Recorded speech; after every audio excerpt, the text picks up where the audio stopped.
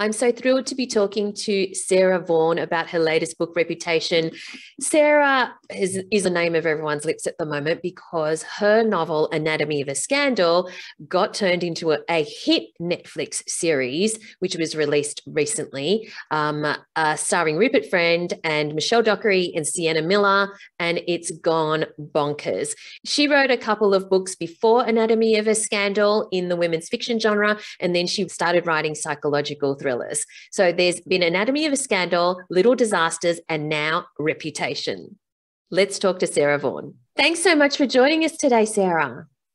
Oh, it's lovely to be here. Now, you're talking to us from London in England, is that correct? Well, I'm, I'm actually just outside Cambridge, so about just 15 miles from London. Yeah. All right, fantastic. So, your latest book is Reputation, and it's just hit the shelves and it gets you in from the first page. So, for readers who ha- or listeners who haven't got a copy of them for themselves yet, tell us what it's about.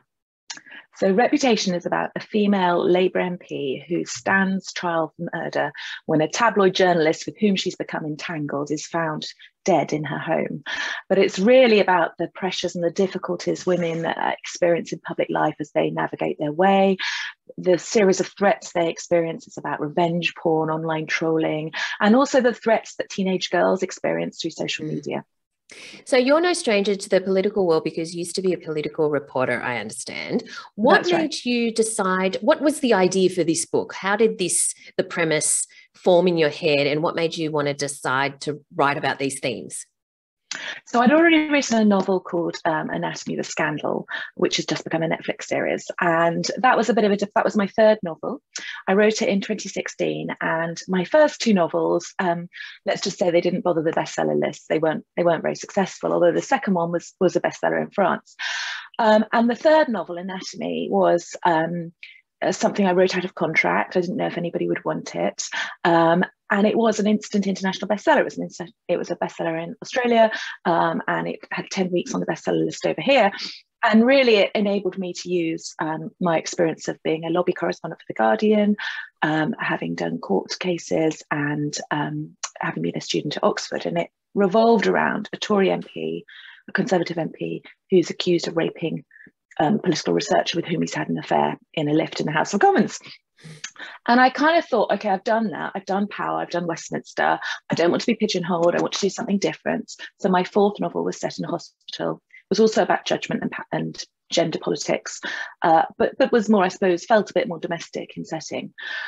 And then I still, I don't know. I think there are still books to be written about misogyny and power, you know. and and I suppose I thought do you know what? I, I think I've got one more political novel. In fact, I think I've got another one in me, mm-hmm. uh, in me. And I suppose I thought, not not too cynically, but you know, actually, no one is right. No woman that I know is writing quite like I do. No one's been a political correspondent and is mm. using that experience, and a court, uh, Anne has been a court reporter and is using writing courtroom dramas as well in quite the same way. Um, and I kind of thought, well, I've done a rape trial. you know, what what what other high stakes story could I have?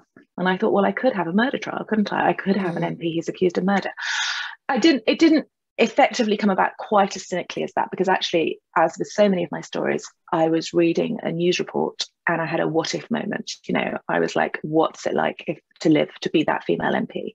So it came from my wanting to write about a female MP, but I suppose burbling away in the back of my mind, I'd been thinking, I could do this again, you know, but I could do it slightly differently and I could learn from anatomy and I could try and write it better. So, so was, the actual, what, do, you want, do you want to, sorry, I was no, going to say, do you want to know the germ of the idea? You, yes, please. Well, yes. cut that out. Sorry. Um, so I was so I was going to I was heading off to something called Noireland, which was in the days when you you know well it's starting to happen again, but in the days when you flew off to festivals and and crime festivals. I was going off to Belfast for a, for for a crime festival there in I think it was May 2019. It was either May or March. I must check. And I was reading an interview in the Times, um, a big glossy interview with lots of nice photographs um, of a Labour MP over here called Jess Phillips, who is very outspoken, you know, incredibly principled woman, um, and she experiences a lot of online abuse because of that. And she said um, in this interview that she had nine locks on her front door and a panic alarm by her bed. And I just had exactly like your reaction. I just had this sort of, oh my goodness, what must it be like to be that woman, to live? And, and very clear, my, my MP, Emma Webster, is not Jess Phillips. But I thought, what must it be like to live under that level of threat? You know, and ha- I know that I would my judgment and my thinking would become distorted by that. You know, I would mm. catastrophize. Mm. I've just written um, my fourth novel, which is called Little Disasters, was about maternal OCD. So the way in which postnatal mental health can be distorted, you know, a woman kind of effectively gaslights herself. Mm. Um, and I know, and I had some experience of that after my second child. So I know that I've got a very vivid imagination. You know, I can perceive threat around a corner on a dark night easily. I think a lot of women we've all had that experience. We've all walked down a, a road with keys clutched in our hands, you know, yes. kind of being slightly aware of, you know, I must be vigilant. And I thought if you were actually, if you knew that you were experiencing threat from online abuse, from physical threats from constituents, from, um, you know, perhaps anonymous letters, from anonymous tweets or texts, mm. how might you behave? And it was in the context of, it was the run up to um, well, Brexit had been agreed, but it was in the run up to it being implemented. There was another very outspoken Conservative MP called Anna Soubry, and she was experiencing, you know, horrific abuse. You know, her one of her parents was sent a letter, I think, detailing how she'd be dismembered. I think that's right. I mean, you know, and there was a, a Jewish MP called Luciana Berger. She she was experiencing horrific anti-Semitic abuse. And my own MP was a woman called Heidi Allen, and she had had to have, you know, restraining orders against people. There was somebody in her South Cambridgeshire village, a bit like mine, who was actually went to prison because he put pictures on Facebook of her house with scaffolding um, and he said, I bought the rope, come and join me on Facebook. I mean, so death threats. I mean, horrific, absolutely oh. horrific. So there were these four instances I knew about of, of, of four different female MPs who were experiencing all these kinds of abuse. And it just seemed to me that that, that was a, a story that was, it would be unique to write a story about a woman in public office who was yeah. experiencing that. And you can see it more broadly. You can see the way in which, you know, um, the papers attack Meghan Markle or, you know, Hillary Clinton was depicted, or, you know, you can just see the double the double standards. I'm interested in writing about gender politics, I guess. So, you know, that mm. sort of mm. came into it as well. Well, oh my goodness, those stories are incredible. Uh, they're just they're they're they're shocking, and uh, no, but obviously you had no lack of um, real life stories to draw from on yeah. this. Let's just I want to I'm going to come back to reputation because I do want to talk about Anatomy of a Scandal because that dropped in Australia, you know, only a short time ago everyone I know binge watched it. And suddenly everyone knows about Anatomy of Scandal and Sarah Vaughan and, you know, um, the incredible story in it. That became up. So your first two books were not were not psychological thrillers. They were very different, right? And then you write they this. Were, yeah, tell us what they were. Say, well, well, the first two books, I suppose they would be dubbed um, uh, women's fiction for the reading group market. So yeah. I kind of up up, you know, it's a sort of publishing tag, isn't it? Sort of upmarket yes. women's fiction. Uh, so the first one was called, uh, which was published in, um, I think they were both probably published in Australia, uh, was called The Art of Baking Blind. Um, and it was about, uh, it, it, it sounds, it, it was about a bake, a characters around a baking competition, uh, but it was really about the impossibility of perfection. And uh, so there was a, a 1960s cookbook, and all these different contestants had to compete to aspire to be like the woman who'd written the 1960s cookbook. And of course, there's a backstory, and her life wasn't that perfect. So you know, very, very different. Then I wrote something called The Farm at the Edge of the World, uh, which was really a love letter to North Cornwall, um, where my mum's family are from. Uh, it's a sort of pastoral, but it's a historic time slip with a Second World War story. So very, very different books. Um, although I would say that even Baking Blind has um, a flick of sexual abuse. There's a character of bulimia. There's there's a bits of darkness, and the farm book has suicide, depression. you know, it's it's it's not surprising that they were packaged as you know lighter fiction but actually they've mm. got some mm. quite dark themes in them. So i kind of was always going to go to the dark side i guess. Yeah. So what do you think resonated with people so much about anatomy of a scandal? Do you mean why it was bought? Because because why it was so popular. published. Yeah. yeah. So um well, I wrote it and, and I wrote it from January 2016 to September 2016. And so we sold it a whole year before the Harvey Weinstein allegations broke. Mm-hmm. But it's about consent. So it's about a, as I said, a, you know, a male MP who's accused of raping someone he's had an affair with. It was very important. It was someone he'd had an, a consensual relationship with in a lift in the House of Commons.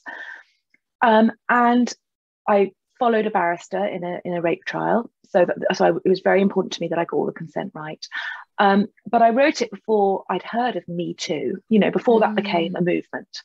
But I think that probably it's something that an awful lot of women, certainly women in a lot of women in publishing, you know, are women in their 20s, 30s, 40s. Um, a lot of so so it resonated with them when they were buying the book.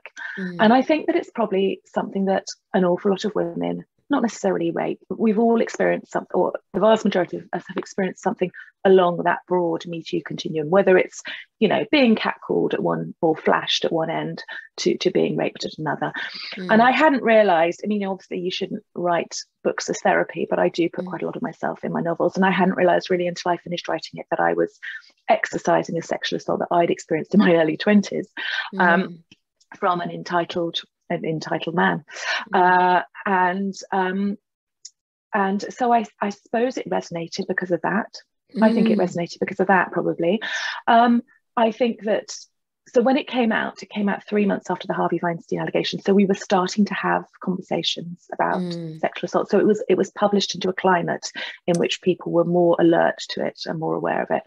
I would also say politically, it was partly inspired by our now Prime Minister Boris Johnson. So I, as a political correspondent on The Guardian, I had interviewed him uh, at the tail end of November 2004, so a long time ago now, um, about the fact he'd lied about an affair. And it wasn't the fact he'd had an affair that was story that was newsworthy, it was the fact he'd lied about it.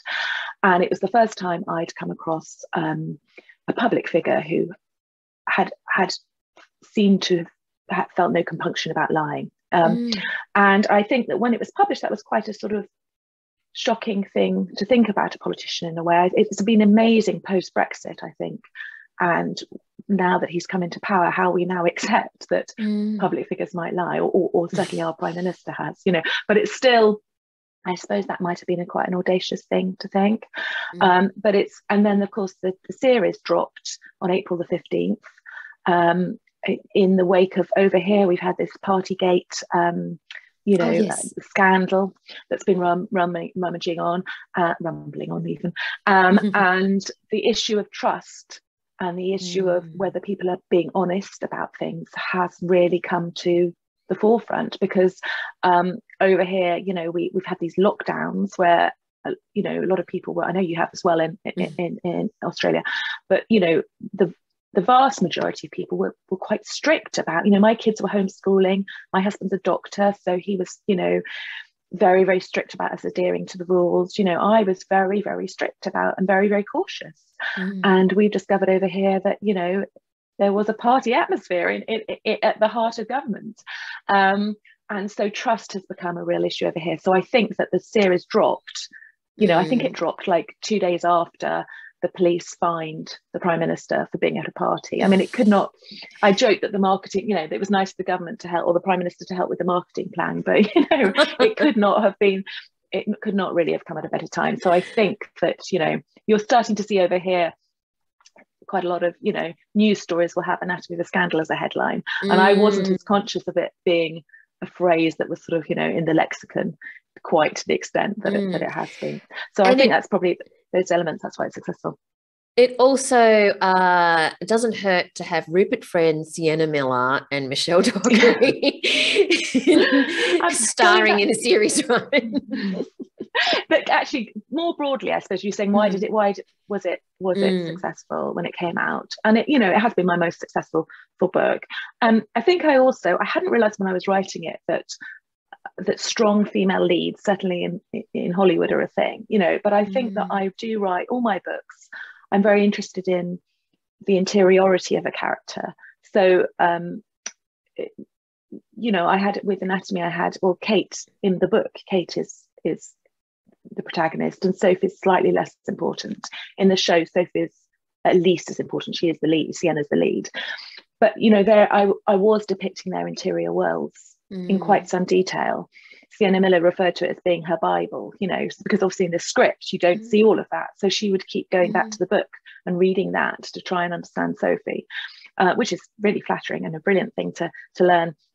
So I think that, and I think that that has appealed to people as well. You know, some won't. You know, you'll find some reviews on Amazon saying, "Oh gosh, don't want another chapter of her thoughts." But I think that I hope I'm quite good at exploring the interior lives and the psychology of women, and I think that that's appealed as well. Mm-mm. When did you do you recall when you got the phone call or the email or the whatever that said Netflix want to turn your book into a TV series with these incredible actors? Do you remember when you got that news? Yeah, so I was in, on holiday. It was August 2019. So I, it's quite a, it's quite a long process. So I'd actually sold, um, I sold the TV rights in February 2018. I was uh, so the book came out in January 2018. I went to Spain to do a uh, press trip for for the Spanish edition, um, and I had various different um, teams who were interested in buying it. I was a really lucky position. So I was having conference calls in Spain with the different the, the, the various different teams. And then I knew that I had to um, that they were going to put in their bids like in an auction. And my family had actually flown out to meet me. I'd done I'd done the Madrid bit on my own and then I went to Barcelona to do some more press and my family flew out to have a couple of days in Barcelona and I was going round the Nou Camp Stadium at Barcelona with my son, who then would have been, I don't know, what was this, 2018? He's just turned 14, so he would have been uh, 10. 10. And um, and I was meant to be focusing on, you know, the, the stadium, but I was surreptitiously looking at my emails on my phone, and I saw that that um, you know the final offer and and and and the people I wanted to go the go with and I had been intending to buy my son a pencil because I'm, you know, I'm, I don't. This was all quite new to me, you know, and it was enough of a treat that my kids were going around the stadium. Uh, so I was going to buy my son a pencil, but by the time we got to the shop, I actually bought him a Barcelona hoodie I was in a sufficiently good mood. so that's that's when we. I was like whispering to my husband. He was like, "You're not concentrating on the tour," and I was like, "No, I've just had the final offer." oh so I bought my God. son a, a Barcelona hoodie. So that, but then, so that was February 2018. But then, you know, these things take a, and I knew that this dream team behind Big Little Lies, so David E. Kelley, Bruna Papandrea, mm. Made Up Stories, mm. is now based in Sydney, uh, and um, Liza Chasin of Three Dot Productions, I knew that they were all buying it. I'd gone with them. But you don't hear anything for a long time. Um, and then I knew they were going to pitch it. And um, I knew they're going to pitch it, and we were actually on holiday. So it makes it sound like we're always on holiday. We have we haven't actually holidayed because, because of COVID. We, this was our last holiday, August 2019, end of August 2019, and we were actually um, on holiday again in Italy. Um, and um, again, it was me surreptitiously looking at my phone because I knew that they were going out that week, at the time, and it was about there was a beautiful sunset on this sort of medieval town in Italy. And I said to my husband, they've um, Netflix are buying it. You know, I knew they were pitching to Netflix, and I knew that's where I wanted it to go. Uh, but you, you know, you don't know if they're going to be successful. And I just had this thing saying it's going to happen, and then you still aren't allowed to tell anybody until they announce it. Mm-hmm. So they didn't actually announce it till the May 2020. By which stage I'd had dinner with the director and one of the executive producers. I'd worked on some, started working on some scripts. Um, and it was meant to start filming in June 2020. Uh, but because of COVID, it didn't start till the November. But that meant that I had we had that whole period from the sort of March through to the November of me giving notes on scripts and the scripts, you know, wow. Really yeah. What an incredible So it's a long experience. gestation period. Yeah, it's yes. a long gestation period. But I still couldn't tell anybody that Rupert Friend was getting, you know, I was getting in the summer of 2020, I was getting messages from authors who knew, or one author who knew a casting director and they'd seen the sheets going out saying Sienna Miller, Rupert Friend and it still hadn't been announced. So I was still, I don't know what you mean. I can't possibly comment on that. You know, until the September tw- September 2020, they didn't announce that Rupert Friend was going to be in it. So I had to keep this or, or Sienna or, or or Michelle Dockery. Yeah. Oh yeah. So the exciting part is Rupert Friend. Let me assure you. but um, I, I think it was perfectly cast. I have to say, there's a certain I, I, know an awful lot of um, uh, female authors my age or writers my age, and that was the thing. The, the um, I'm part of a sort of writing uh, group. Uh, we don't really uh, on Twitter really that we all came together. Our, our novels were written at a similar time. Our first novels came out at a similar time, and the woman in charge of the the Twitter feeds that day, Tammy Cohen, the writer. Um, she just kept putting in cap letter in cap lock Rupert Friend. How I mentioned Rupert Friend. And there was this sort of frenzy of you know female writers who were just terribly overexcited about that.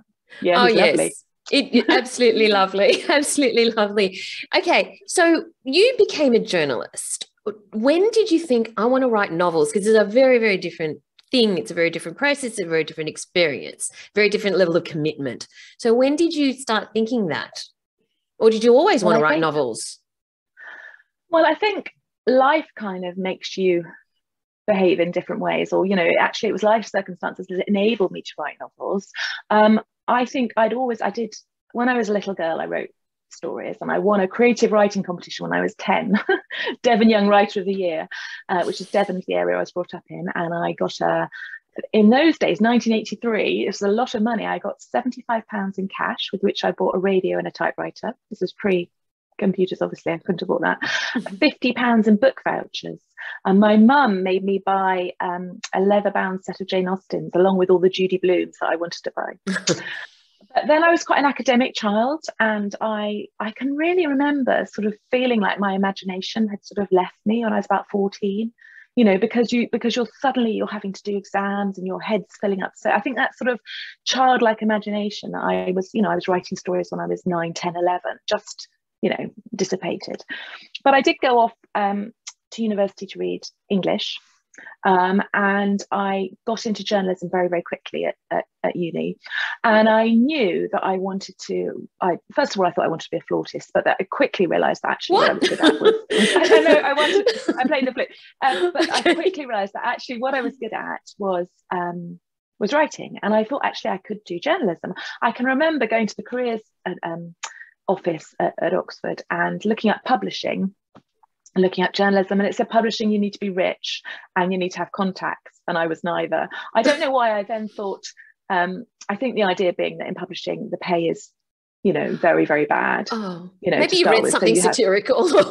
Yeah no no i think that you have and to get into it you had to do internships and, and things. Mm, so it's, it's a mm. real it is an issue. Um, uh, but actually in journalism you also have to do unpaid work experience and i also had no contacts in journalism at all. But what i did have was i was features editor of cherwell which was the university paper and a lot of editors on fleet street had worked on cherwell. It's a kind of like a, a willy wonka golden ticket. And so when I went for, for work experience at the Times and the Observer and the Guardian, they, they would see, oh, she works on Cherwell, she's, you know, and I'd done other local journalism as well, but I, I couldn't get in on a local level so I went and did effect. I did lots of work experience, and I ended up doing three months on the Times, and I got I got into journalism that way. But and and it didn't, to be honest. Sorry to answer your question. Uh, it didn't occur to me that I could write a novel. Really, I remember when Zadie Smith, who I think is a couple of years younger than me, got a book deal straight out of Cambridge. I remember being quite appalled because, or not appalled, but jealous, frankly, because I had um, I'd done an English degree where you didn't have to read anything after 1832. Uh, that's the Oxford English degree. I think I did a I did a paper I did a paper on the novel. So I did Woolf as my most modern novelist, Virginia Woolf, um, and Henry James and George Eliot. So I mean, I was hardly looking at contemporary fiction, um, and so uh, yeah. So just, but I did, did know I could do journalism, um, and I didn't attempt to write novels while I was a journalist. I think I was so busy writing news that my brain mm. was just programmed to write like that. And I didn't really have the headspace um, or the confidence maybe to to find a voice and to find something I wanted to write about until um, I actually took voluntary redundancy from the Guardian because I had a I had a pregnancy complication that meant I couldn't walk very well for three years after my second child. Mm. So I took the money I freelanced from home. I was hopeless at it. I wasn't very good at all. I was writing news reports, Mother and Baby magazine, and you know, hating it. Um, and but I was doing, and I was sort of being a mum. Mm. And I suppose my it was the first time that I'd sort of not stop because it's busy with young children but you know I, I i'd taken the pace down a bit i suppose and i was doing lots of creative things with my kids i was doing lots of baking with my kids mm. painting and whatever and i suppose you know it's it was lovely but it's quite boring on one level being at home with little children and so my i had the time and I had the headspace in a way to think about other stories. And I and for me it was that I noticed that, you know, I was going and picking my daughter up from the school gate and going home and playing with my toddler son.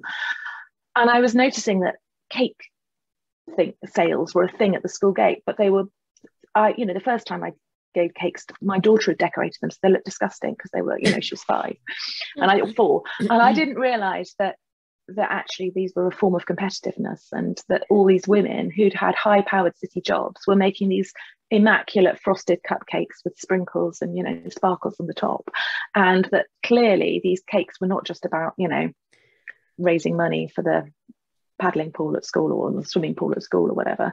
They were there, there was some deeper level in there. And, and i started thinking why do people bake? And at the same time the great british bake off suddenly yes. became a water cooler movement thing here. Sorry, this is a very long answer. No, You're no, going to have great. to this right down.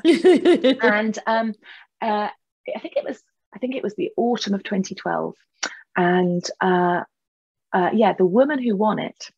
They have a little on the on the final episode. They um, they talk a bit about their backstory and they interview their um, you know members of their family and they show them at home. The next day, after she won it, the Daily Mail uh, revealed that her husband was in prison for fraud. And she'd said, I just want to do something for myself. The winner had said, I just wanted to do something for myself. And the next day, you know, it transpired her husband was in prison for fraud. And I thought, wow, we never know what's going on in people's lives. You know, mm. that is mm. the perfect illustration of somebody who's being shown with her blue Aga, you know, making her sparkly cupcakes, looking as if life's serene and she's con- she's conjured up this image of domestic perfection mm. and yet mm. her husband's in prison for fraud you know i mean that the the, the dis- disparity is stark isn't it? So i started mm. thinking about what about if lots of people went into a baking competition and they had really difficult backstories and why are they baking? You know what, what's what's what, what's the hunger they're trying to feed by with these ridiculous cakes? Yeah sorry long story. No no that's, great. That's that's, that's set you down the path of, of being a novelist. So now right. you've got reputation. So in terms of the um, plot and what you decided was going to happen to your story did you, yeah. you you already kind of had your premise and you probably started with Emma, you know, the, your, your protagonist. Yeah and your inciting incident, which gets you in from you know the first page. What um, what did you know about the rest of the story as you started writing, or are you one of these people that you discover what happens as you as you write? Because no, because so before I... we started recording, you you you hid your post-it notes, and so I'm assuming that maybe you use your post-it notes as a bit of a you know timeline or a plot. Scaffold yeah yeah yeah so i'm not somebody i did an event at the weekend with sophie hannah who writes a 30000 word synopsis before she starts and she actually that, calls it oh a gnocchi jar yeah i know because I, and she was explaining and i was like but that's chapter three you've kind of you actually she actually details it's kind of like a rough a very rough, small first draft, I guess. Yeah, it's it not a synopsis. it's not a synopsis. I was like, oh my God, I can't write a 30,000 word synopsis. Um, and I'm one of those people that can't, I just, I keep trying. I'm, I'm not very technological. So I've just been trying to download Scrivener and work through it. And I just can't get my head around it again. So I have got a post it board here for the new one, uh, which is, um, uh, so, but I do use, I, I increasingly um, use post-its as a sort of scaffolding or you know index cards and, and move them around and i won't know all the plot but for instance since anatomy i guess i've i mean i've never heard of a three act structure or a you know or a save the cat or anything like that until i wrote anatomy mm-hmm. so the mm-hmm. first two i don't know how i wrote this book really but um but the third the third one i did actually i did for my first one it was interesting listening to, to patrick gale talking about this for the first one i did have a sort of grid with chapters across the top and characters down the side. Like, all my books, I mm. seem to write from multiple points of view. So even that first yes. book, I wrote from five different points of view. I didn't know that that was quite an ambitious thing to do for your first novel, but you know, I just did it. Um, and so I did exactly what Patrick had said, you know, so that I knew I, I got a sense of the balance of the story as I was going through it. Mm. But now what I do is I know what the ending is going to be, although often there'll be a, like a final little twist that will come to me at about 80% of the way through that mm. I'll get, in, which is what happened here. But I'll know roughly what the ending is. With this, some of the anatomy and with Little Disasters, I know the outcome of the Little Disasters is kind of a police inquiry um, with anatomy and reputation. There's a court case, so I know what the um, the outcome of the court case is going to be and what's going to happen after that. Um, and I know, yeah, what the inciting incident is going to be. And I know, for instance, when I've just started writing, I know very much the the arc, I suppose. I know what the midpoint. I mean, with anatomy, there's a there's a twist at the midpoint, and it's it. I have no idea how it is literally on page 200 of a 400 word book. The twist comes there, and I think that must be some sort of instinctive. Yes. You know, I've I, you know I spent three years reading books um, as a degree. Um, I read a lot.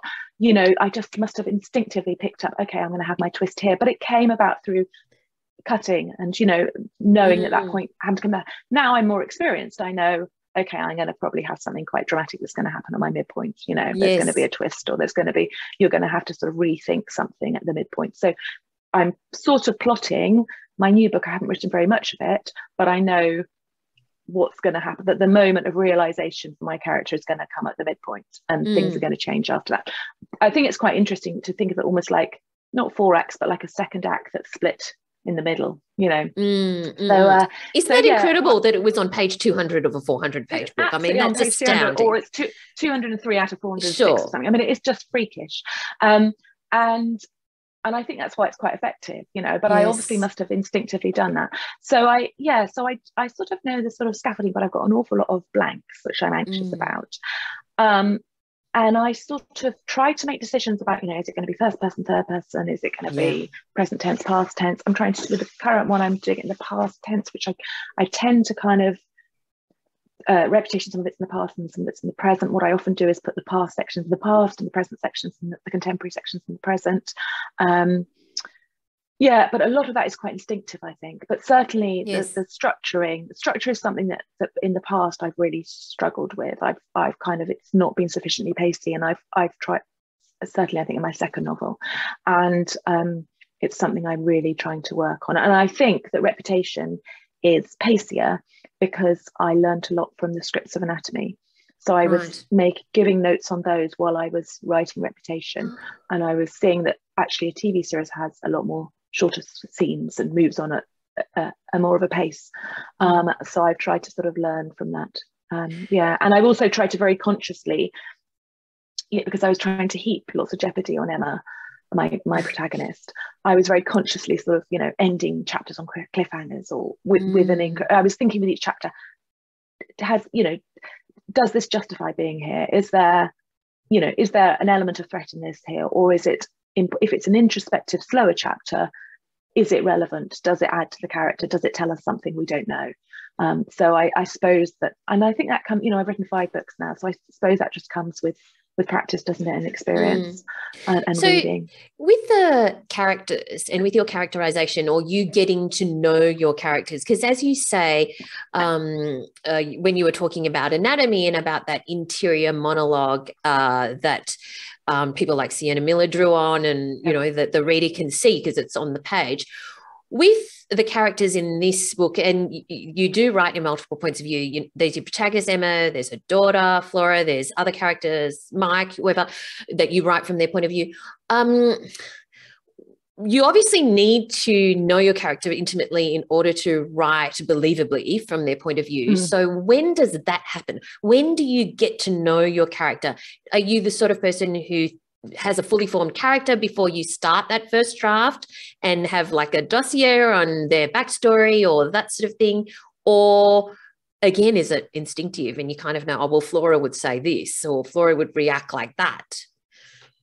So I kind of make some character notes and uh, I'm not, as I said, I'm not very techy, but you know, I'll have like Word documents where I'll say, you know, uh, so Emma, I kind of, I worked out a backstory for her that isn't very apparent, you know, but it kind of I needed it to sort of bed her down. Mm. Uh, so you know, she was a single child with, with you know a trade unionist father. I worked out how she came into pol- how she was interested in politics. I worked out I wanted to create spoilers, you know, how her sort of initial enthusiasm might have been diminished by something that happened to her, um, you know, and how that might have then impacted. And then I was really interested. I'm really interested in writing about you know i'm i'm now 49 but you know she's 44 i'm interested about writing in women about women in their 40s who kind mm. of are, perhaps are experiencing that their you know initial sort of power from their perhaps their that they're unaware of it from their their youth and their vigor and their sexuality you know is perhaps diminished but they're kind of wanting to forge a different career for themselves and i think mm. 40 is often a a a, a, crisis point like that. I should have said actually when I was talking about me writing novels, it was at my 40th birthday that I stood up. I drank too much prosecco, and somebody had said, "What are you going to do now?" And I said, "I'm going to write a novel and get it published within a year." Oh my god, really? I, that's a good. That's a good story. I'll have to tell you that. Yeah, yeah. So I, so I just tell you that, and we'll have to. Yeah, absolutely. So basically, I'd I'd given up. I took redundancy from the Guardian after my second child was born I was 36. I tried to freelance. I wrote these pieces that I um, was hopeless at, you know, but but I was paid for, but I just didn't enjoy being. I felt like I was sort of prostituting myself in print because you'd send off these ideas and then people would reject them, and you know, that's a bit extreme to say prostituting myself, but I just felt like it wasn't what I wanted to do. Mm. Uh, but obviously, I had to earn money. Um, and um, and and I'd always had this niggle. I'd always had this sense of I want to write a book, and I suddenly felt that I had things to say about motherhood and the difficulty of motherhood, which had been a shock to me after being quite successful about everything. You know, I got straight A's. I'd gone to Oxford. I'd got a Guardian job at 24. I trained with the Press Association before that. You know, everything had gone quite swimmingly. Mm. Suddenly, I was in lots of pain having a second child and finding it quite hard being at home with, with two small children. And I stood up anyway, the week that my youngest started school, I turned 40 and somebody said to me, you know, what are you going to do? And and I'd been working on on this book. You know, I'd only written 20,000 words, but I'd secretly been doing it. My husband knew about it. And I said, I'm going to write a novel and get it published within a year, which was completely naive. I wasn't on social media. I'd never done a creative writing course. I didn't know about agents. I had no idea how any of this worked. And my husband actually said, Look, I, I sort of said to him, Look, could you, could I've still got a bit of redundancy, but could you support me financially for a year you know, I hadn't didn't buy any new clothes for six years. Um, you know, I'm could be quite frugal, but you know, this will be difficult. But could you do this because I think this is a really good idea? And he said, and he knows nothing about writing either. Um, well, I think you're meant to get an agent, aren't you? I think you need to know you get you need to get an agent if you're going to do this because you can't just write something and it not be um, it, it, it not happen. And so I emailed. Um, I looked in the back of a book of someone I enjoyed the book and I saw in her acknowledgement who her agent was. and I emailed this agent who happened to be Lizzy Kremer, the agent behind The Girl on the Train, uh, which wasn't published then, but she was sort of working on that. And I emailed her and I said, I'm a I'm a journalist. I'm writing a novel on this. I've written 30,000 words. I hadn't, I've written 25. Um, I know exactly where I'm going. I can meet deadlines do you want to see this book? Sort of thing. Which is completely not how you're meant to do it. You're meant to write your whole book and you know polish it make it exquisite. And by the time she i was picked off the slush pile by a reader by the time she got back to me i'd written i was actually looking at uh, courses to do pgces to become an english teacher. You know i was oh. literally looking thinking what am i going to do? How am i going to earn some money? Do you know i don't want to write freelance journalism. I'd rather be a teacher. So i was looking at and you had to pay over here you know you have to pay for it. And i was like how can i find the money to, to do that? Um, and the phone rang and uh, she'd by that stage i'd written 66000 words of a first draft. And she effectively gave me a sort of creative writing ma you know i kind of just sent i mean it's just not how you're meant to do it at all because it was very rough, you know rough first draft that's incredible um, but she could see uh, she could see, I think, the potential of these characters, yes. that these characters really spoke. Well, she didn't even read it. She had a reader who picked it off the slush pile who said, you know, she can write. So her first words to me, you can really write. And that was the most amazing validation.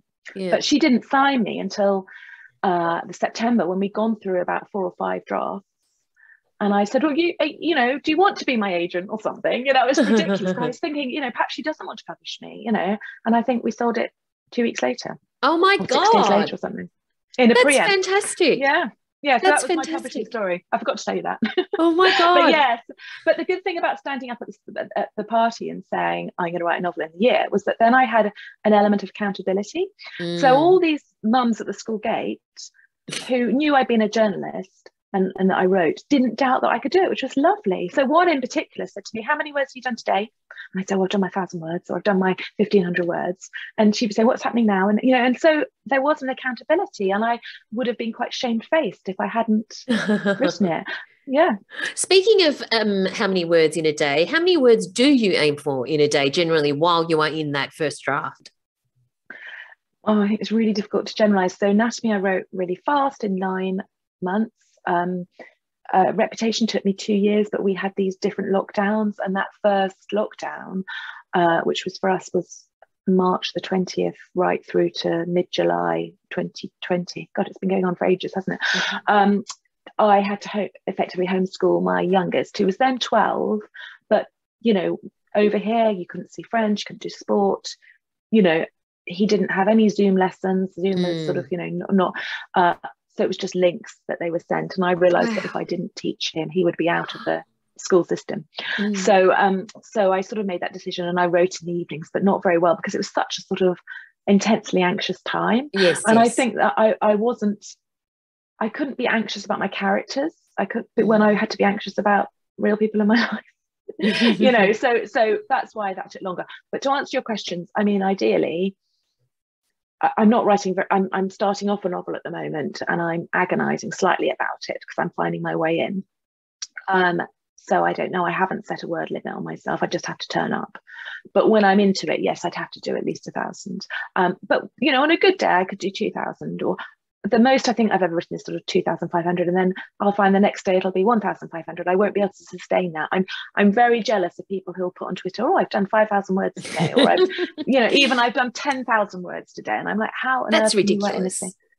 any quality if you do that. But I, I've decided it's that thing about um, comparison is the en- enemy of joy. Is that is that the, the, the line? yes. I think that the books I write are quite take quite a lot of research. Um, and I think they're quite textured. And I do really think about, I'm not saying that other people don't do this, but if if I was writing two books a year or three books a year, I would not be able to agonize about the quality of the, each sentence and the rhythm of each sentence Mm. which is something that I try to make it be quite Mm, elegantly mm. written as well. Um, and so I think that's probably why it takes me, me Mm. longer. You asked me another question and I went off on a tangent about my it was 40th actually about the birthday. characterizations. Oh, that's right. Yeah. That's right. So I would write a, um, I would have word documents where I'll say characters, and for instance, the one I've just started writing, my um, protagonist, I've gone into a lot more detail than I have for other characters because I think they will emerge as I go along. But there are Mm. four kind of key players, and I've kind of fleshed them out quite a lot, and I'm sort of reading along as far as I go. With Emma, yeah, I'd worked out her backstory. Um, I knew, so I knew she had this ex-husband David, um, and I knew roughly what their marriage would have been like. And I knew she there was this other woman, his second wife, Caroline. So I'd Mm. sort of worked out her backstory, and, and, and you know, so all I've written about. I actually with Caroline, I wrote from her. I thought, okay, I'm going to do a document. I'm just going to write from her point of view about what's her rationale for. She actually was a friend of Emma's, and then she has an affair with Emma's husband and marries him. So I thought, okay, I, what's her rationale for this? And I started writing in the first person, although she's in third person, I started writing a document in the first person of Caroline. Oh, And then I used actually you turn that into the third person and u- used some of that yes. you know, as a chapter, the chapter where she's playing the piano. Actually, a lot of my original notes then just sort of um, came into that. And Flora, I mean, I was bullied throughout school, um, and I when I started writing this, my daughter was 14. so although she's not in any way Flora, and I had to change lots of things to make sure she didn't appear like Flora, and she's not really into social media, I interviewed lots of I interviewed some of her friends. I interviewed Mm. um, the daughters of my friends, and I said to them things like, "If you were going to bully somebody on social media, how would you do it?" mm-hmm. which was fascinating because I didn't know about Snapchat or you know stories on, or I didn't know that the lengths that somebody and, and they were really they really knew their stuff. These girls, you know, they would they weren't going to do it themselves, but they could give me anecdotes of things they'd observed other people experiencing, you know, mm. or you know, it, it's a world I don't know anything about. I do know that if I had been bullied if in the 80s they'd had social media late 80s they'd had social media i don't think i'd be here. Oh look be, i I, you know. I agree. I don't know how. Yeah. It's it's it's and astounding. I, yeah. and i think we will actually look back serious point i think we will look back in 10 years 20 years time and we will think how on earth did we allow our children to mm. be exposed to so much of that. There's been yesterday there was a coroner's report from another death of a 14 year old girl oh, who killed gosh. herself after seeing something on Instagram. I mean, mm. I think we will look back and we will think, how do we expose our kids to that? You know, the mm. the unregulated nature of it, and also, you know, on Twitter, the abuse on Twitter. I mean, I I've seen a tiny bit of it, not not you know, just sort of feedback on um, anatomy of a scandal. You know, every most people I know have been have loved it and mm. features have been but there have been some some snipey um broadsheet reviews and criticism and people love to be mean so oh. people you know on twitter people have been hot. Some people have been a small minority. But of course you focus on that don't you? Um, of course. And, and let's let's face it they're wrong. But anyway. Yeah. But, but it's hard to, it's hard it's knowing that somebody thinks that. And actually it was it's really interesting. I then got the viewing figures for the first three days was 40 million viewing hours and then the first full week was 75 million. And one of the producers said to me look at the viewing figures. And actually, I thought, you know, this is 75 million people in the first week have watched a story that came from a book yeah. I wrote. Yeah. well, I think the numbers speak for itself for it's yeah. you know uh, for themselves uh, for anatomy. It, literally everyone I know has watched it. Your latest book, Reputation, everyone go get a copy. It's absolutely fantastic. What we uh, what we always wrap up w- with is uh, what are your top three tips to others who want to be in a position where you under you are one day you know? They want to have their books published. What are your top three tips to them who are still trying to get there? Um, okay so the first thing which is not very original is um, to read. Um, uh, but you know i think I think you can't underestimate how important that is. And, and read, I mean, I was really lucky. I, I didn't do a creative writing degree, but I did a three year degree in which I read lots of different literature. And, you know, arguably, um, you could say, well, doing a whole paper on Shakespeare isn't going to help you. But actually, you know, it, I'm prefacing like each book at the moment with a with a Shakespearean quote and the themes that come up, you know, about power and revenge, uh, you know, is present there. You know, characters with fatal flaws, you know, people overarching themselves um, and falling back to ground. You know, those sort of dramatic arcs are present in those. I'm not saying go and read Shakespeare, but I'm saying anything you read is going to be helpful. And read mm-hmm. across genres. I would say, don't just read um, in your in the genre you want to write in mm-hmm. because good writing is good writing and you will learn a lot about character from reading how you know perhaps more literary people write it i would i, I always cite um, hilary mantel's bring up the bodies which is the second of her cromwell novels which might seem like a really heavyweight tone but i think i have learned more from um, uh, reading her sort of it's closed third person consciousness so it's you're in the head of cromwell but it's written from the third person but you yes. never feel you leave his you know you leave his head and i i just think you know dip into her prose if i'm a bit stuck i'll read a bit of from somebody who I really, you know, I'll read an opening chapter from some from a book that I admire, or I'll see how a how a hook works, mm. and it sort of inspires me again. So obviously read.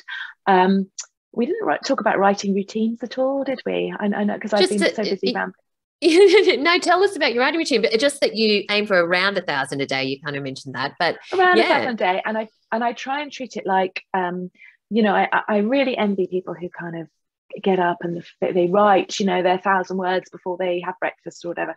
I've got children of fourteen and seventeen now, but I suppose they were then four and seven when I started writing, um, and you know it's important they as teens they actually i feel they need me almost as much as they did when they were little in some ways you know and i think covid has also meant that obviously it's easier in lots of ways they're more independent but you know we're we're a close family so they you know i'm i'm not going to sort of you know go off and write first thing in the morning and not say hello to them or anything sure. so my day starts with you know unloading the dishwasher, putting the first load on, making breakfast, uh, walking the dog, uh, which is which is good because we've had about five years, and you know I think my the days that I don't walk her, you know, if if a child does it instead, I have a really bad backache by the end of the day. So oh. I think, and I also feel really um, sort of scratchy.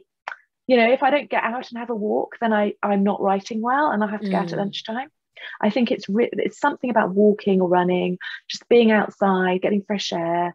Um, so I'd actually say that's a second tip. I'd say yes. look after. I'm not very good at it, but look after your physical health because you're going to have to put your bum on a chair and you're going to have to write mm. this. And I would say get out. Get there's something apparently about being out within two hours of being up, or you know, an hour of being up.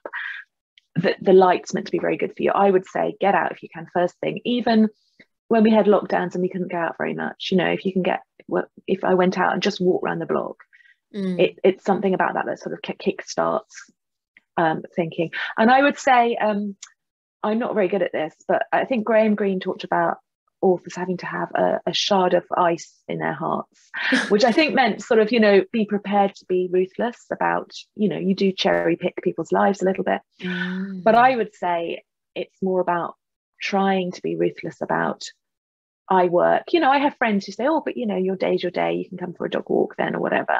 But no, this is this is a job. I don't get paid unless I deliver. Yeah, I'm quite busy.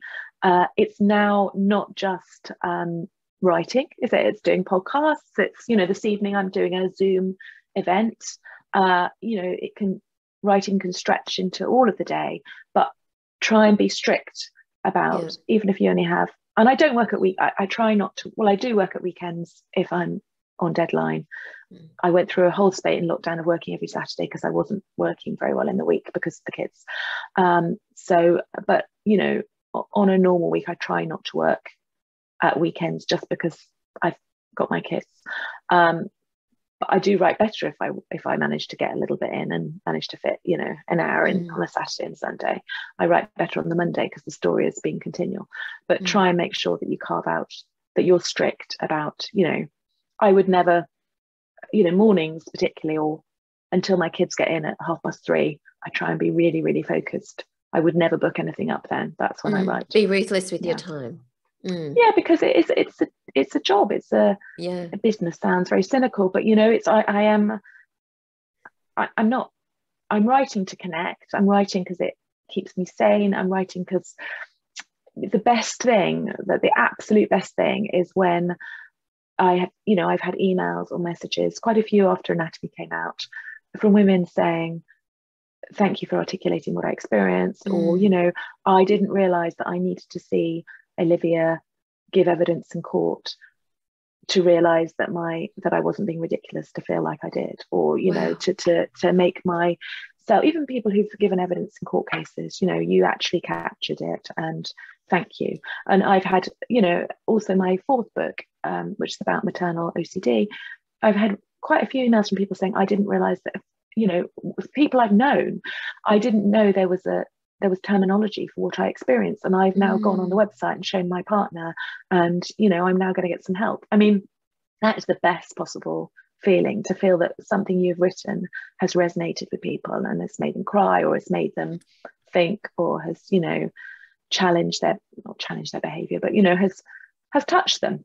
Mm. So yeah, so so that so I write to do that, but I also you know I have a mortgage you know I, I, I you know I have to earn money. And it's it's not a hobby and you need to not treat it like a hobby. You need to take it seriously. And I feel we have one more right? Okay bonus so I've tip. thought of a bonus tip. Uh, so I would and this is possibly once you start writing if you if you you know you're lucky and you've been, you've been published.